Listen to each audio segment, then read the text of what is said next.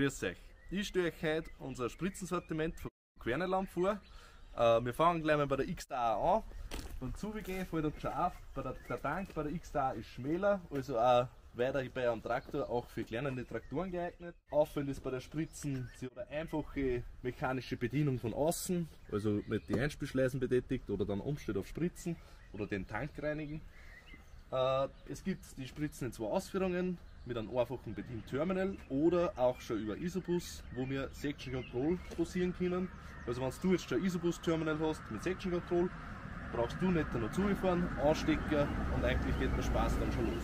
Jetzt stehen wir vor der XTB, unserer Profi-Variante. Die haben wir mit 1300 bis 1800 Liter im Tank.